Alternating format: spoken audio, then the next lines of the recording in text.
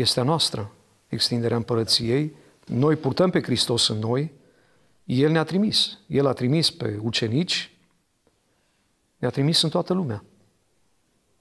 Știu că unii cred că doar pe apostoli a trimis, dar pe lângă apostoli a mai rânduit în Luca 10 încă 70, pe urmă la primirea Duhului Sfânt erau 120, pe urmă Apostolul Pavel zice că erau 500, pe urmă erau 3000, peste care a venit Duhul Sfânt 3120 și pe urmă în oricât de mare număr îi chema Domnul. Deci eu cred că Domnul ne trimite pe toți.